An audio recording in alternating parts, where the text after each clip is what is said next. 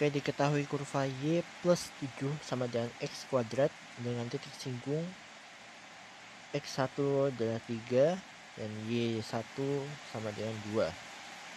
Yang ditanyakan adalah persamaan garis singgungnya. Kita selesaikan dengan beberapa langkah. Langkah pertama adalah tentukan turunan fungsi kurvanya.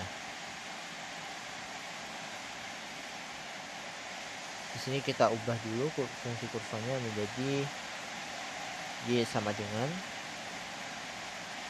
x kuadrat minus 7 maka turunan pertamanya yaitu y aksen sama dengan 2x langkah selanjutnya adalah tentukan gradien dari singgungnya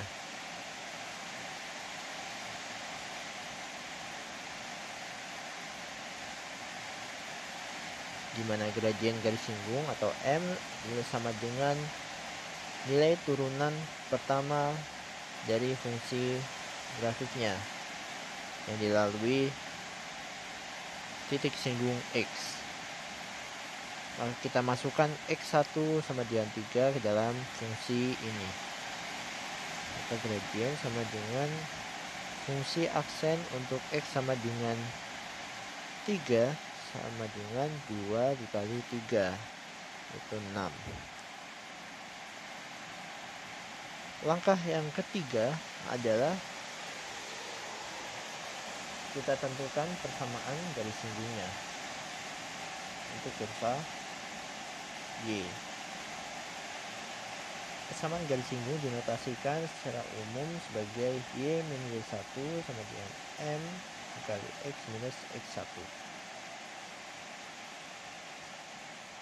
kita substitusikan nilai-nilainya. Y minus y1 nya adalah 2 sama dengan m nya adalah 6 dikali x minus x1 nya 3 kita sederhanakan y minus 2 sama dengan 6x minus 18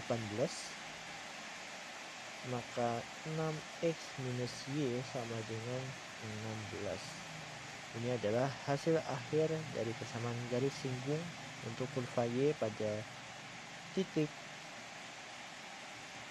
singgung 3,2.